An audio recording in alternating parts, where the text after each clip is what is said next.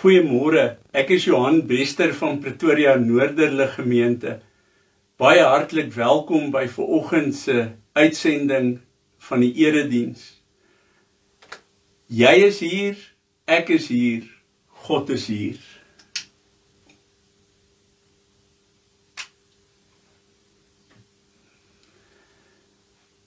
Ons gemeente se gebedsbediening voordat ons elke oggend ons erediens of met ons erediens voortgaan gaan daaroor dat ons graag saam met mekaar en vir mekaar wil bid. Nou ons wil vir oggend bid vir Kobus Steyn wat worstel met kanker en dis net die Here se genade wat vir Kobus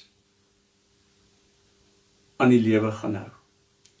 En dan bid ons ook vir oom Bron. Ons het verlede Sondag gebid waar hy vir 'n mediese prosedure gegaan het vir 'n toetse en so meer en hy gaan nou eerskomende Dinsdag oor môre gaan hy vir 'n operasie. En dan wil ons ook dankie sê dat Maritjie Pretoria se operasie goed afgeloop het. So kom ons bid saam. Ons troue Vader, Here baie dankie dat ons ook weer ver oggend in U naam by mekaar kan kom en kan weet dat U altyd by ons teenwoordig is. Ook nou hier waar ons nie fisies by mekaar is nie, maar U is met elkeen van ons. Ja Here, U is in elkeen van ons. En daarom kom ons ver oggend om vir ons medebroers en susters te bid.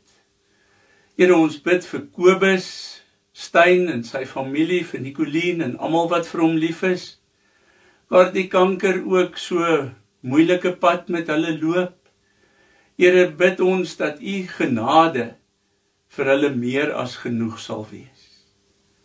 Here want in u genade kan ons ook moeilike beproewings op ons pad hanteer. So bid ons ook vir oom Bron wat Dinsdag ingaan vir 'n operasie. Here dat U hom ook met U almag sal beskerm, dat U die mediese wetenskap as instrumente in U hand sal gebruik om U wil te laat geskied. Here en dan wil ons dankie sê dat Maritjie se operasie so goed afgeloop het. En ons bid ook Here dat U met haar op die pad van herstel sal wees. Ja Here, ons loof en prys U vir die grootheid, vir die goedheid en dat U vir ons lief is.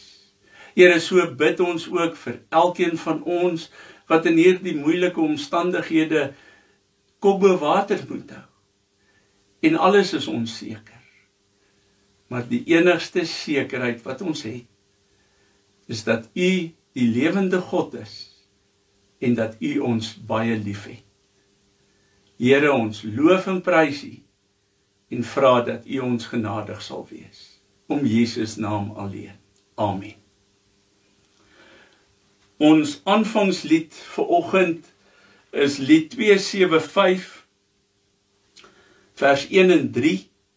O God van Jakob, deur U hand word steeds U volk gevoed. U het wel eer op see en land ons vadere behoed. Berei vir ons die lewenspad, wil deur u gees ons lei. En as ons val, o Vader, vat ons hand en staan ons by. Die hemel getuig van die mag van die Here God. Die uitspansel maak sy werk, sy hande werk bekend. Prys die Here. Loof die Here want hy is goed. Want sy liefde is daar geen einde nie. Gemeente Pretoria Noorderlig en elke kyker wat aan God ons Vader en die Here Jesus Christus behoort. Mag daar vir ons nou genade en vrede in oorvloed wees deur ons kennis van God ons Vader van Jesus Christus ons Here deur die werking van die Heilige Gees. Amen. Ons lofprysing is lied 188 En ons sing of ons sou al drie die verse gesing het, maar ek lees vir ons vers 3. Lof eer sing ons voor God, die bron van alle lewe, die Vader, Seun en Gees, almagtig en verhewe. Drie eenige God ons roem, u krag en majesteit.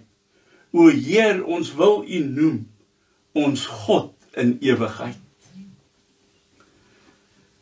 Vanoggend is ons skriflesing uit Eksodus hoofstuk 16 vanaf vers 2. Dit is op bladsy 84 van die Ou Testament en in die kleiner weergawe van ons Afrikaanse vertaling is dit op bladsy 66. Eksodus 16 vanaf vers 2 op bladsy 84 of 66 in die kleiner weergawe. Kom ons bid saam. Ons troue Vader, Here, baie dankie vir hierdie wonderlike geleentheid om op hierdie Sondagmôre rondom u woord bymekaar te kan wees. Ja Here, u Gees en u woord bind ons ver oggend aan mekaar. En daarom is ons gebed dat hierdie woord wat voor ons oop lê en wat ons nou gaan lees en gaan hoor, dat dit 'n verskil in ons lewens gaan maak. Dat wanneer ons dit lees en hoor, dat dit ook ons gedagtes sal verander sodat ons aan u gehoorsaam kan lewe. Ag Here, daar is so baie dinge wat ons aandag van u aftrek. En daarom bid ons dat u nou al daardie dinge sal wegneem en dat ons nou sonder enige uitdagings ons aandag volkome op u woord sal fokus. Kom o Here Jesus Christus en praat nou met elkeen van u kinders. Ons smeek dit in sy naam. Amen. Die opskrif van Eksodus 16 is kos uit die hemel.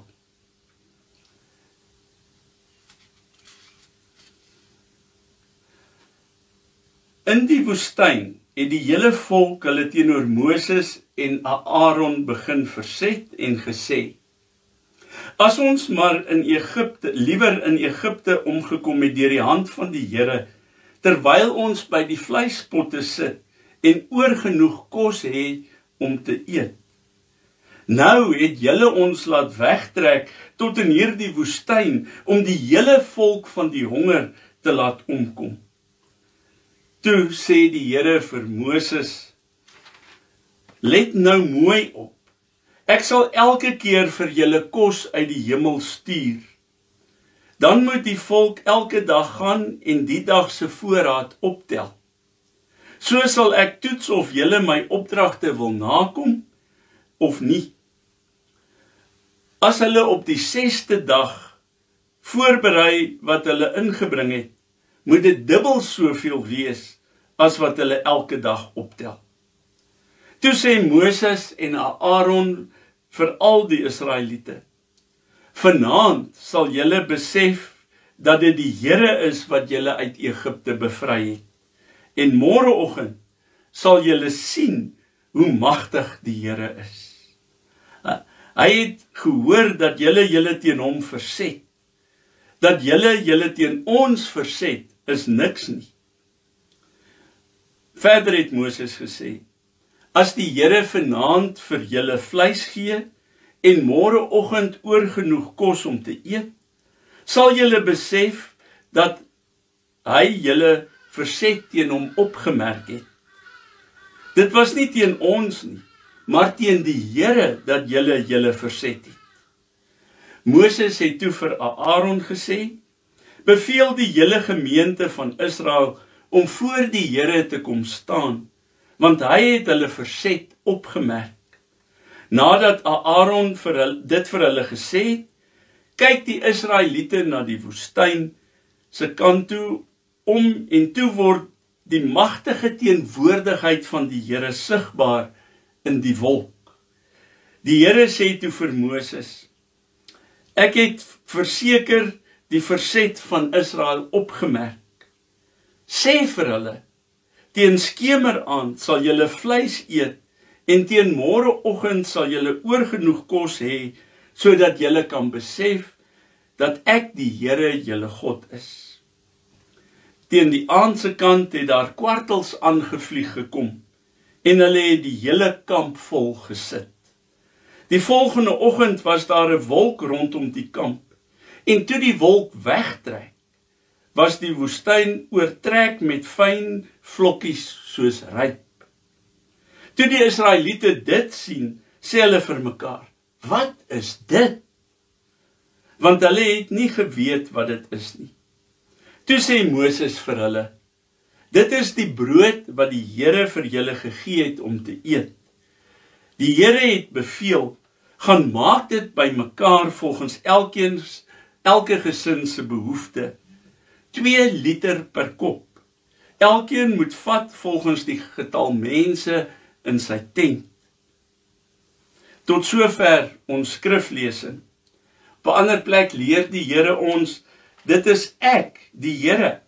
Ek is die eerste en wanneer die laaste dinge gebeur, sal ek nog steeds die Here wees. Die tema van ons prediking vir oggend is God se versorgende teenwoordigheid. Nou broers en susters, die afgelope 6 maande was 'n baie uitdagende tyd vir elkeen van ons. Ons het in hierdie afgelope tyd 'n klomp dinge geleer. Onder andere het ons geleer om die lewe in perspektief te behou is nie so eenvoudig nie. Die gedagte in Prediker 11 vers 1 om jou brood op die water te werp gebruik ons maar eintlik net as 'n spreekwoord of advies wat ek en jy vir ander mense gee. So, u verstaan ons hele lewenstyl is beïnvloed met wat die afgelope 6 maande in ons lewe gebeur het. Hierdie westerse kitskultuur en kapitalistiese denke is immers ingestel op vinnige resultate en maklike wins wat dadelik weer ingeploeg word om nog meer wins te maak. Elkeen van Jesus se volgelinge leef vandag in hierdie kultuur. Dis byna onvermydelik dat dit ook ons geloofsdenke sal beïnvloed. Dink maar net aan as dinge nie uitwerk soos wat ons dit beplan het of gehoop het nie. Dan kla ons baie gou daaroor en ons raak sommer opstandig daaroor. Tog gaan dit in ons geloofsverhouding met die Here God oor langtermyn perspektief. Die Bybel behandel met ons vanaf Genesis tot Openbaring 'n geskiedenis wat van die oertyd af tot die eindtyd toe strek. Intussen hierdie twee pole ontvoue verhaal met duisende dale en pieke of hoogtepunte. Nou is dit dale of pieke in in enkelinge se lewe en dan weer dale en pieke in die geloofsgemeenskappe se lewe. En dit het my dadelik aan aan Eksodus 16 laat dink want dit is presies wat hier aan die gebeur is. Die hele volk het opstandig begin word teen hulle leiers. Moses en Aaron Let wel, nie slegs 'n klein groepie mense nie, maar die hele volk. As ons maar liewer in Egipte omgekom het deur die hand van die Here terwyl ons by die vleispotte kon sit en oorgenoeg kos hê om te eet. Hulle verwyd Moses en Aaron dat hulle die volk doelbewus die woestyn ingelei het om die hele volk daar in die woestyn te laat doodgaan. God se reaksie op die volk se beklagings, verwyte en verlange na Egipte is anders as wat ons verwag. Dit is eintlik verrassend. Hy het nie net die volk se gekla en verwyte gehoor nie. Hy onderneem om die volk te versorg, hulle daagliks te voed. Daar is egter 'n kinkel in God se versorging. Ons lei dit af van die woorde let nou mooi op wat eintlik 'n waarskuwing selfs 'n voorwaarde kan wees. Die gawe van God aan die volk kom met 'n toets van hulle gehoorsaamheid aan en dankbaarheid teenoor God. Hulle moet God vertrou vir elke dag se sorg. God se opdrag gehoorsaam en ook die rusdag vier. En dan voorsien God op 'n bo-natuurlike wyse. 5 dae lank hou die kos net vir een dag. As jy te veel opgetel het, het dit vrot geword en dit begin stink. Maar op die 6de dag kan die volk vir 2 dae kos optel. En die kos het goed gebly en vars gebly vir 2 dae lank tydens die volk Israel se omswervinge en avontuur in die woestyn raak hulle weer bewus van hulle afhanklikheid van die Here God en hulle vertroue op God alleen. Hulle leer ken hulle self nie net beter nie, maar hulle ervaar ook die Here se versorgende teenwoordigheid op 'n nuwe manier in hulle lewe. Hulle het ontdek dat hy nie net God is wat beweer dat hy die onmoontlike kan doen nie. In die woestyn het die volk om dit sien doen en hulle het versadig geword. In koninkrykstyd wat ons nou vier, is ons fokus op God se heerskappy en ons navolging van Jesus Christus as sy disippels. En dit laat 'n mens sommer wonder. Hoe het God se mense hulle deur al die eeue of hoe het hulle deur al die eeue hulle geloof behou? Volgens die Joodse oorlewering loop daar 'n geheime draad deur die geskiedenis waarop 'n mens bedag moet wees as jy jou hoop en jou geloof wil behou. En by hulle feeste het hulle verhale oor hierdie goue draad vir mekaar vertel. Een so geleentheid was die Purimfees waar tydens hulle die verlossing van die Jode uit Haman se komplot herdenk het soos vertel in die boek Ester. Die twee hooffigure van die verhaal is Haman en Ester. Volgens oorlewering was Haman 'n nakomeling van Agag, die Amalekitiese koning wie se lewe Saul in ongehoorsaamheid aan God gespaar het. Op die lange duur het hierdie onbesonnenheid van Saul die volk Israel ingehaal. Ester was volgens oorlewering 'n nakomeling van Saul. Uiteindelik was sy die een wat Israel uit hierdie penarie kom red het waarin Saul hulle gedompel het. Toegegee. Dis 'n oorlewering. Maar dit is 'n manier om te besef ten laaste hou God die geskiedenis in sy hand.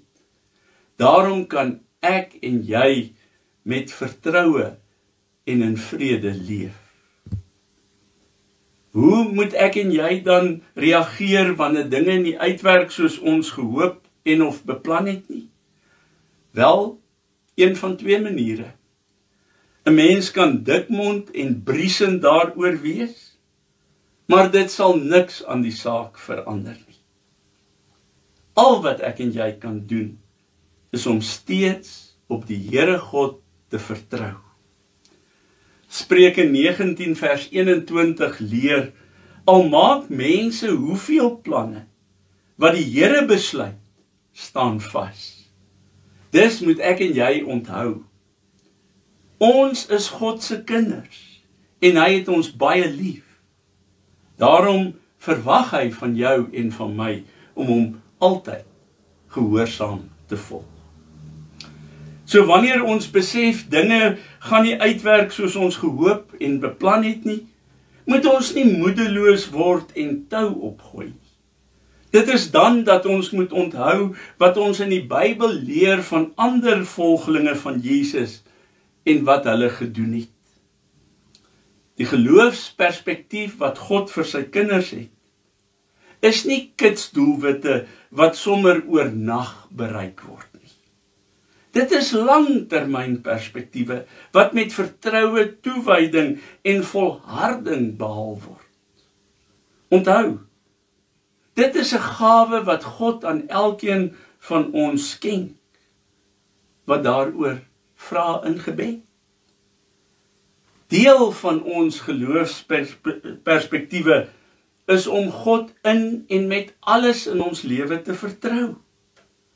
Selfs al is jou en my omstandighede ook hoe moeilik en hoe onseker. Onthou hierdie een ding. Ons is God se kinders en hy het ons baie lief. Daarom kan ek en jy onsself volkome aan God oorgee en ons aan hom alleen toewy. Onthou, op die lange duur hou God die geskiedenis in sy hand en versorg hy ons deur sy teenwoordigheid. En daarom kan ek en jy in onsekere en moeilike tye met vertroue lewe. Amen. Kom ons bid saam.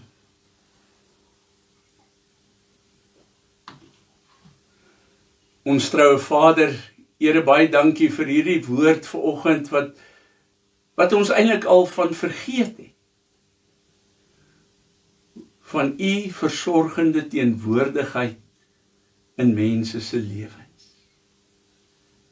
Ja Here, ons is gou om te verwyd en te kla en opstandig te raak. Vergewe ons tog daarvoor. En help ons om in die geloof staande te bly, vas vertrouend op U alleen. Here, want U is die lewende God, die skepper en onderhouer God. En U laat vaar nooit die werk van U hande nie. Ook wanneer ons omstandighede moeilik is en onseker is, bly u dieselfde en versorg u elkeen van ons uit u hand. Maak ons daarvoor dankbaar, Here, en laat ons u verkondig daar waar ons woon, werk en speel en so u koninkryk te laat kom in die wêreld.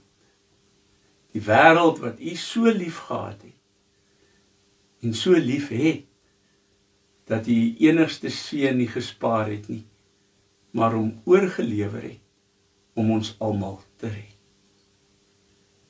Wees met ons Here en laat ons in hierdie tyd onsekere en moeilike tyd ons in die geloof staande bly. Ons bid dit in Jesus se naam. Amen.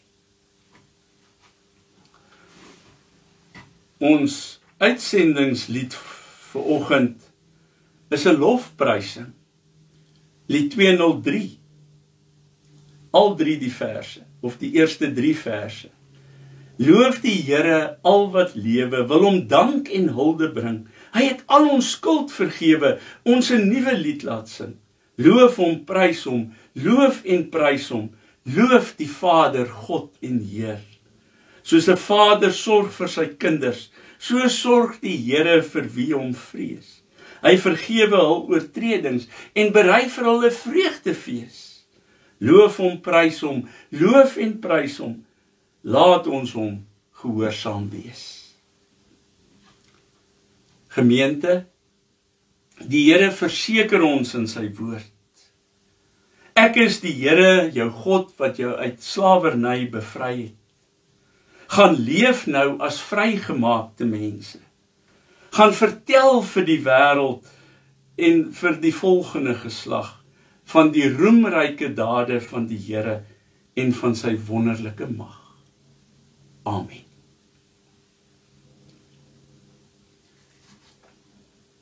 Voor ons uitmekaar gaan, wil ons net graag die volgende lidmate gelukwens met hul verjaarsdag. Nelly Voges verjaar vandag. Cornelia Botes môre die 21ste en Johan Du Plessis die 22ste September. Aan julle drie baie geluk met julle verjaarsdag en mag God julle in hierdie nuwe lewensjaar seën en dat julle van sy lof sal verkondig.